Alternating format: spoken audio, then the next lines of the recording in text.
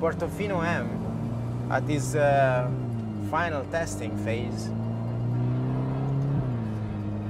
Test track are fundamental for the development of every Ferrari to test the car in extreme conditions in a controlled environment.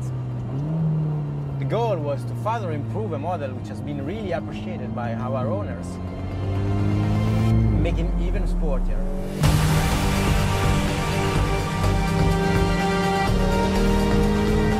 The new 8-gear dual-clutch transmission is totally new.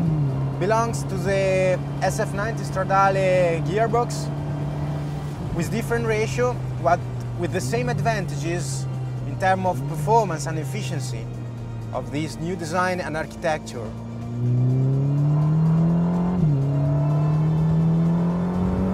The first seventh gear of the 8 are shorter, giving more fun and acceleration, and let the 8th gear covering all the other use case of overdrive.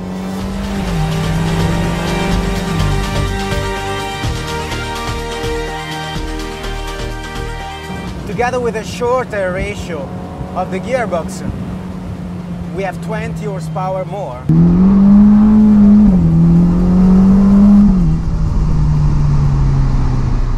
I would say on this type of car, which is also more versatile, it's more important the response time, which is almost zero.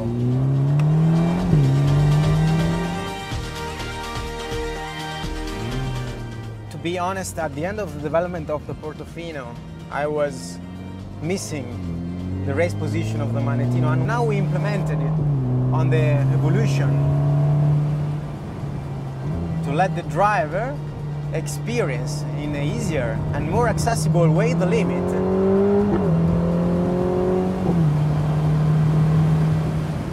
Easy, slow, progressive, something you can manage. I really like the sound. Both from the engine and from the gear shifting especially with the roof open.